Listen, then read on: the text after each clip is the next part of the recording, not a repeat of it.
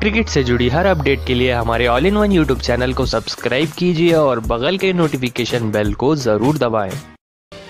दोस्तों, अगर आपको भी लगता है कि युवराज सिंह को और क्रिकेट खेलना चाहिए था तो वीडियो को लाइक ज़रूर करें दोस्तों, युवराज सिंह की तूफानी बल्लेबाजी भारत के हर बच्चे बच्चे को देखना पसंद है क्योंकि युवराज सिंह भारतीय टीम के एक ऐसे लोकप्रिय खिलाड़ी थे जिनको आज तक हर कोई याद करता है। जिनकी बल्लेबाजी आज तक क्रिकेट इतिहास में सुनहरे अक्षरों से लिखी गई है। जिनकी क्रिकेट रिकॉर्ड की अगर हम बात करें तो वो खूबसूरत है और बेहतरीन भी है। दोस्तों, सिर्फ़ इंटरनेशनल क्रिकेट में ही नहीं, युवराज सिंह ने आईपीएल में भी कई ऐसी पारियाँ खेली हैं जिसमें उन्होंने अपनी तूफानी बल्लेबाजी का दम दिखाया है। लेकिन आज हम युवराज सिंह एक इंटरनेशनल मुकाबले की बात करने वाले हैं, जो कि 2008 में 14 नवंबर को राजकोट के मैदान पर खेला गया गया था। जी हाँ दोस्तों, ये एक ऐसा अनोखा मुकाबला है जिसमें भारतीय टीम ने इतिहास रच दिया था और युवराज सिंह ने साबित किया था कि जब तक भारतीय टीम के पास युवराज सिंह है, भारतीय टीम महा बनाते जाएगी। दोस्तों, इस मुकाबले में पहले बल्लेबाजी करने उतरी थी भारतीय टीम। पहले बल्लेबाजी करते हुए गौतम गंभीर ने इस मुकाबले में इक्यावन रनों की पारी खेली थी तो वीरेंद्र सहवाग ने पचासी रनों की पारी खेली और सुरेश रैना ने तिहत्तर रनों की पारी खेली। ऐसे में उसके बाद बल्लेबाजी करने आया नंबर चार पर भारतीय टीम के सिक्सर किंग युवराज सिंह। दोस्तों, आप सभी को बता दें, शुरुआती दोनों ओपनर ने तो अर्धशतक की पारी खेली थी, लेकिन युवराज सिंह ने आते ही उसी पारी को कंटिन्यू करने का फैसला किया। जी हाँ दोस्तों, जिस हिसाब से ओपनरों ने शुरुआत दिलाई थी, वैसे ही फॉर्म को कंटिन्यू कर रहे थे युवराज सिंह, आते ही अपनी तूफानी बल्लेबाजी से।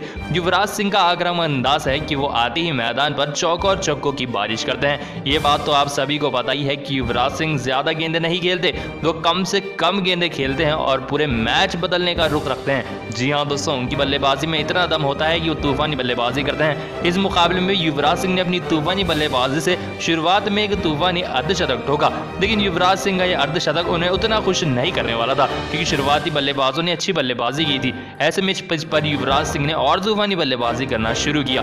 देखते ही देखते युवराज सिंह ने धाकड़ बल्लेबाजी की। इंग्लैंड के सभी गेंदबाजों को पानी पिलाने लग गए युवराज सिंह।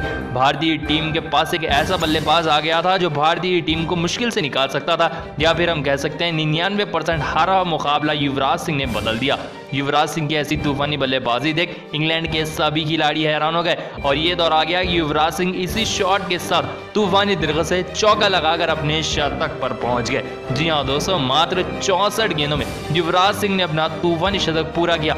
ये एक ओडीआई मुकाबला था, ना ही एक टी ट्वेंटी मुकाबला था। जी हाँ दोस्तों, सभी लोग यही सोच रहे थे कि टी ट्वेंटी की तरह युवराज सिंह ने ओडीआई मुकाबले में बल्लेबाजी की। जी हाँ दोस्तों, युवराज सिंह ने कारनामा किया था। मात्र चौसठ गेंदों का सामना करते हुए सौ रनों का शतक लगा दिया था। ऐसे में युवराज सिंह की अब नज़रें थी कि भारतीय टीम को एक बड़े टोटल तक पहुँचाए, क्योंकि भारतीय टीम लगभग साढ़े तीन सौ के करीब आ चुकी थी तो और छियालीस ओवर हो चुके थे। ऐसे में युवराज सिंह और भी तूफानी बल्लेबाजी कर रहे थे और ऐसा लग रहा था कि युवराज सिंह आज महा रिकॉर्ड बना देंगे।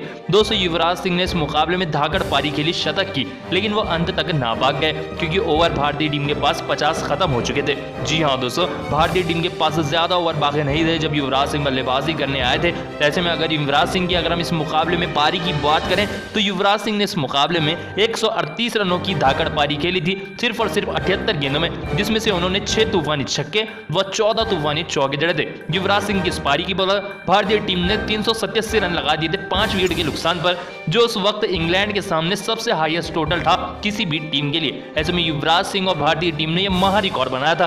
सिर्फ़ यही नहीं, इंग्लैंड को भारतीय टीम ने मात्र दो सौ उनतीस रन पर ऑल आउट कर दिया था और भारतीय टीम ने मुकाबला एक सौ अट्ठावन रनों से जीता था। जी हाँ दोस्तों, एक रनों की शानदार जीत युवराज सिंह की तरफ़ से भारतीय टीम को मिली।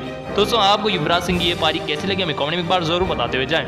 अगर वीडियो सही हो तो दिल से लाइक करें और सीक्रेट के सब्सक्राइब करें।